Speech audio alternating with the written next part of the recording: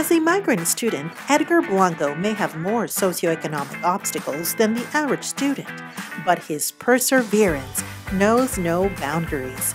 His academic achievements have ascended him to top honors, including the role of valedictorian of his senior graduating class at San Elizario High School.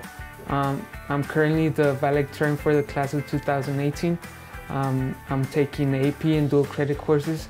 I'm involved in NHS. I'm an EGO ambassador. I'm in NTHS and I've been in many organizations that have given me great experiences. His dedication has caught the attention of his peers and teachers, including Michael Rodriguez, San Eli Coordinator of Career and Technical Programs. As far as him being a model CTE student, I, I couldn't have asked for a better student.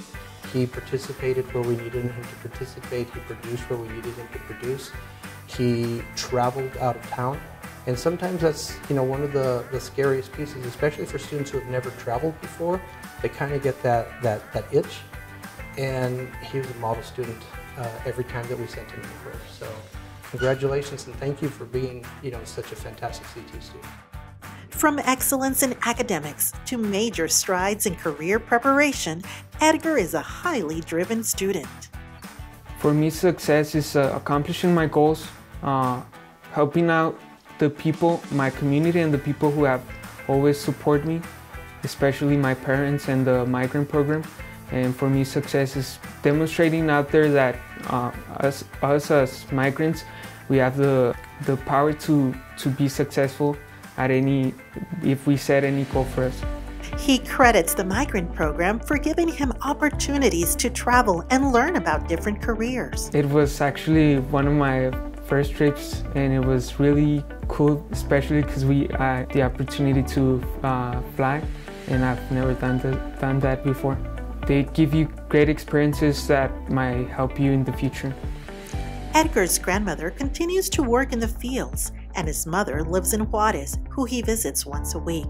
Family has been a vital source of strength for this young man with so much determination. My role models have always been my parents. They always support me, and also my my my teachers, because they always they always try to influence you to go to the right path and, and be successful.